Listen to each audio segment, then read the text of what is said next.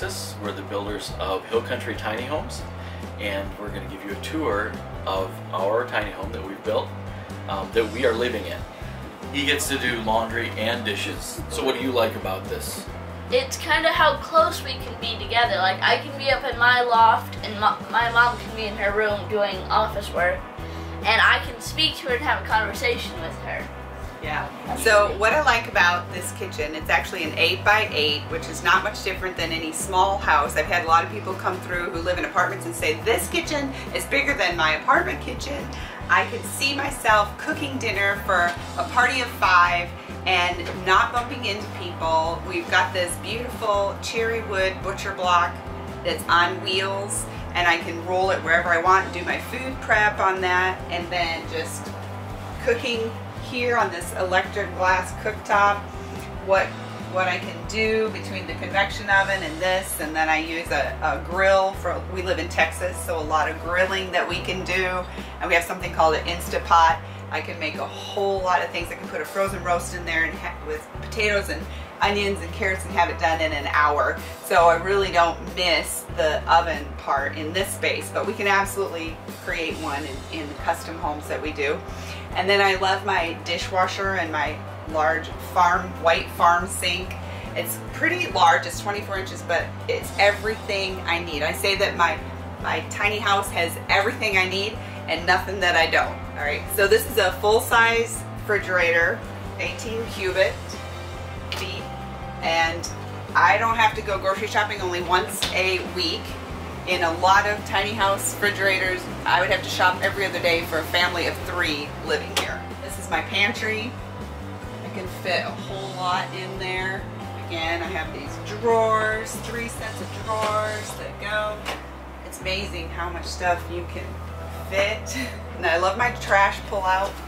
It's very large, deep trash can, can fit all kinds of stuff in there downsizing from a 2200 square foot home that was our forever home, our dream home, and moving into this full time. I didn't want to be such a sacrifice and we didn't want to miss the luxuries we are accustomed to.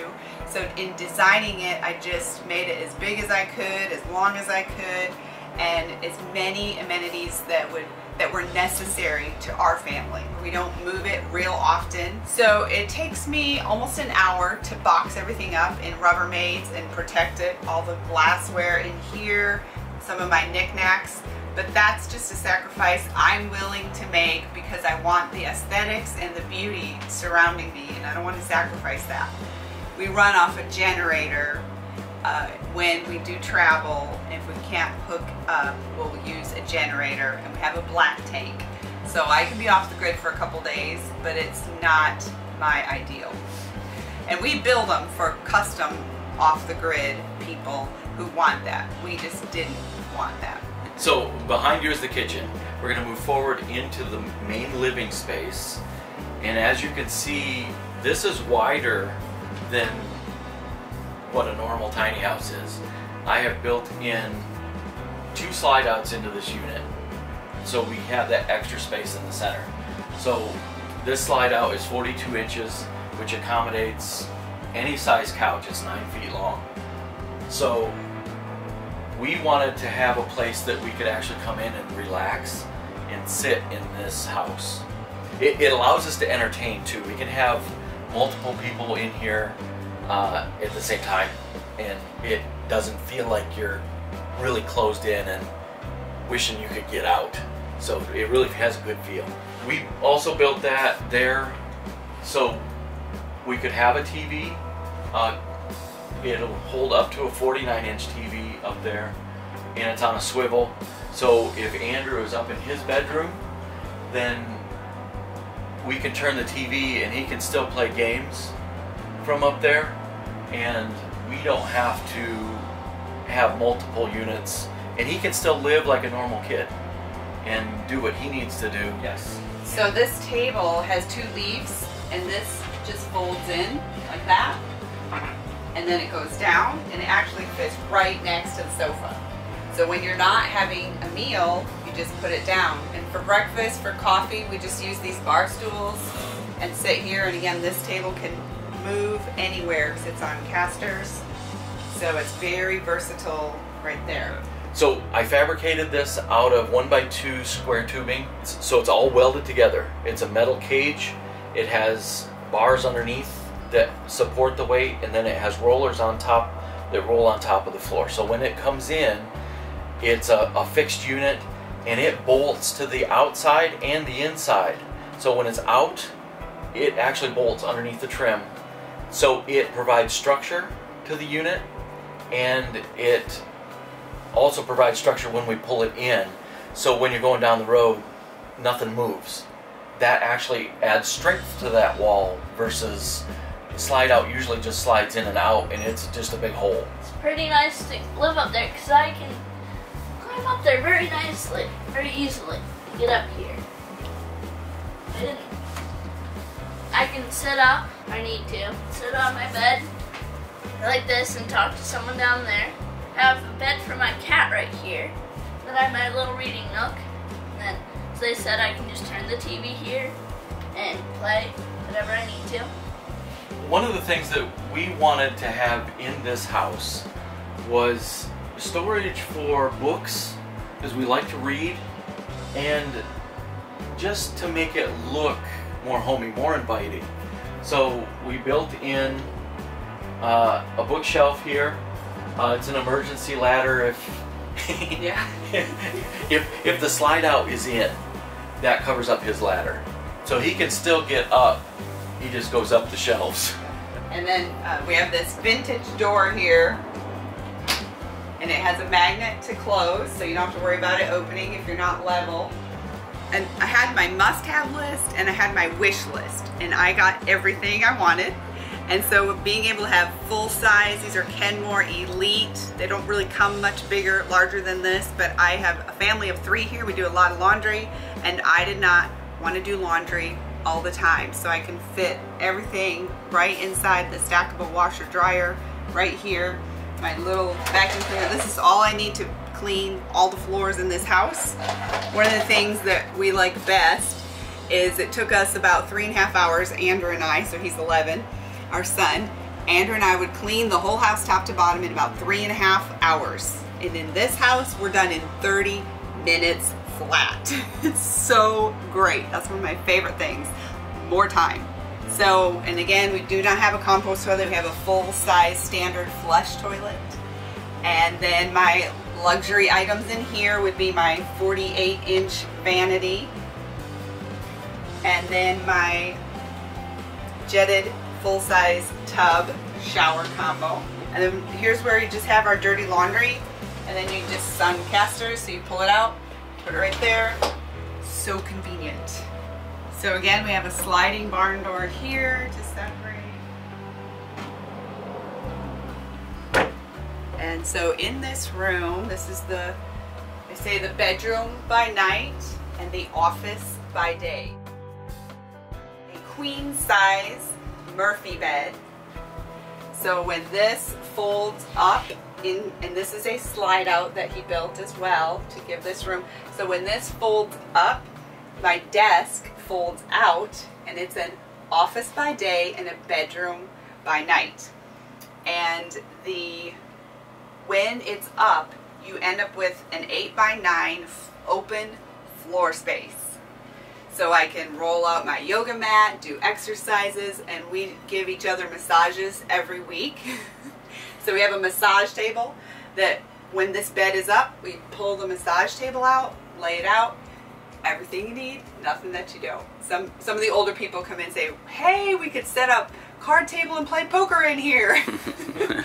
all all versatility. Um, we'll have a TV up in the corner. Some people might put a TV here. So you've got basically the dresser is here. These are all drawers that fold out. Shoes here. Lots of storage, plenty of storage. And then plenty, again, plenty of storage for, I didn't really have to, I did downsize, but I didn't have to downsize a whole lot. Some of the tiny houses I see, they can only have maybe 10 outfits at the most. And uh, I liked having some versatility, but now it's like every outfit in there I actually like, and I found I really don't even miss everything I need, nothing that I don't. You can have the doors closed and still control this temperature, cool or hot. As you can see, we have a mini split in the bedroom also. We have one in the kitchen and one in here. We wanted to be able to control the temperature in this room separately because having the bathroom in the middle, we can have both doors closed or this door closed for privacy and still control the temperature in here. Cool it down to what we want to at night without affecting the rest of the house. Uh, and these units are very economical. So, and we also put a sliding glass door on this room and a deck outside. So we can open this up. The weather is so nice in Texas a lot of the time. So we are able to use that as part of our living space also. So we put a more of a, a glass structure uh, that allows us to use the outside inside. Absolutely. So that's really what we're after is the freedom to be a family that's together and doing things together and the tiny house space helps us accomplish that almost as a byproduct of the space. Um, you can't have a kid that's you know in the bedroom and you never see them again. And as you can see underneath the closet, I have built in outside storage for what I need. And uh, as I have stuff I need, tools and things just to move and maintain. So far, in, in it, it's pretty new. The maintenance has been almost nil. Uh, but there are moving parts. So you're to have to look at it. it you got to maintain any house. This one's no different. Uh, it does have a couple moving parts that we'll have to keep track of. Um, but like I said, we don't move it.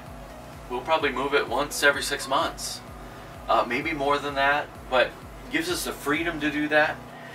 But we're not looking at this as a travel trailer. This is a house um, that we can move to whatever location we feel is best.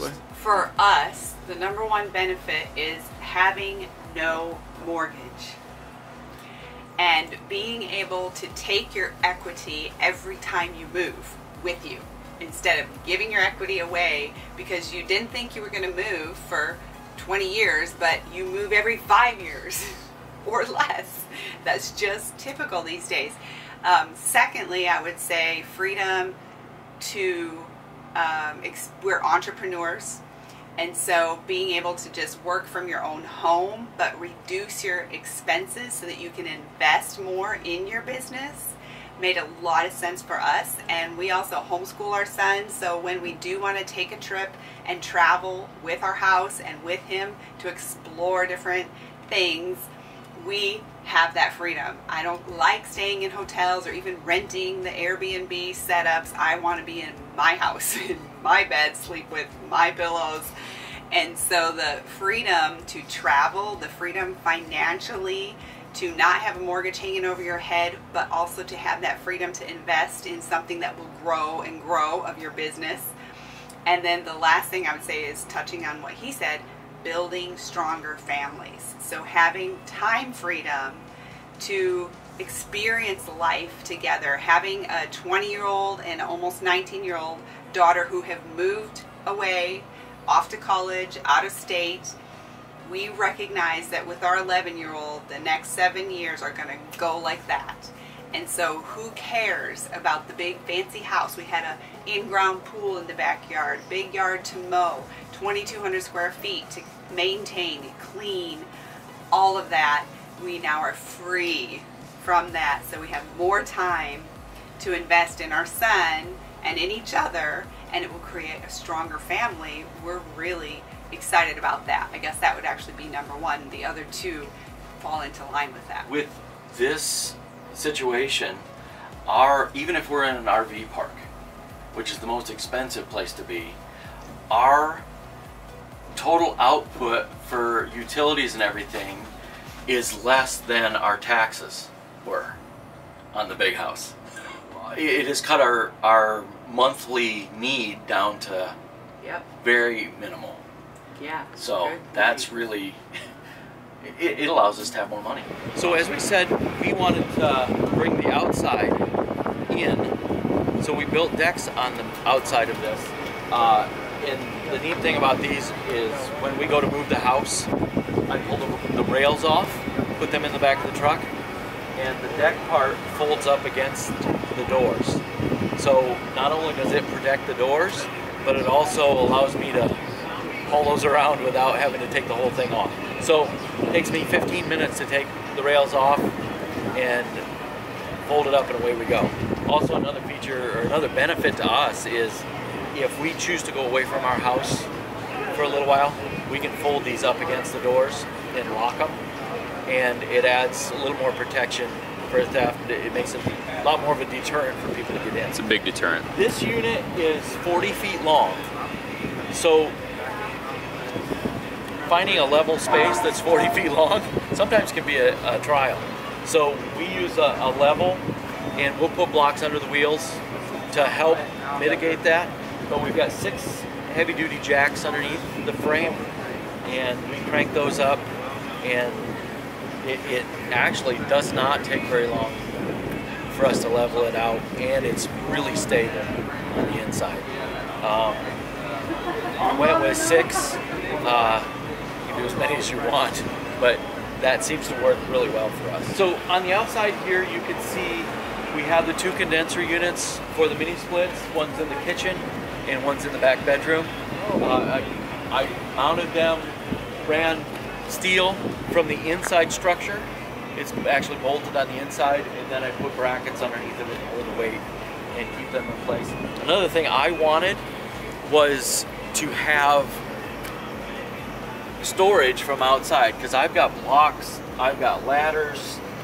So I took up this whole section. It's kind of a mess right now, but I can hold everything that I need to maintain this whole unit under here, and it's completely watertight, and you wouldn't even know it's there most of the time if, if you didn't see it. So that really helps me.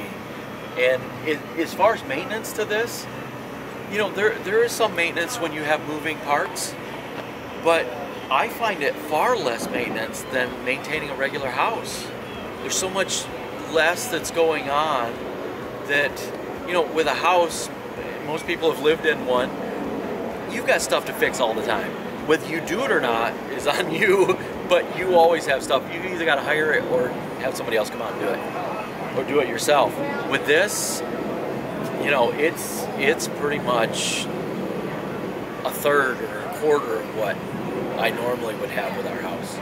Yeah, if you want to know more about uh, these units or us building you a unit, uh, go to hillcountrytinyhouses.com.